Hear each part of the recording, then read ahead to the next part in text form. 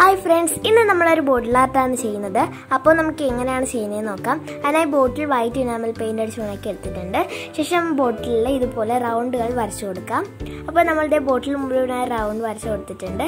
ശേഷം നമ്മൾ ഈ റൗണ്ടിന്റെ അകത്തായി ബ്ലാക്ക് കളർ ഫില്ല് ചെയ്ത് കൊടുക്കാം.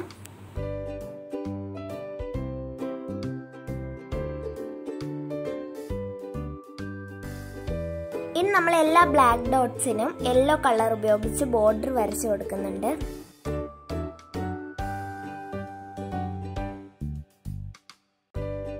അപ്പോൾ ഇതാണ് നമ്മുടെ ബോർഡർ ഫൈനൽ ലുക്ക് എല്ലാവരും ട്രൈ ചെയ്യുക.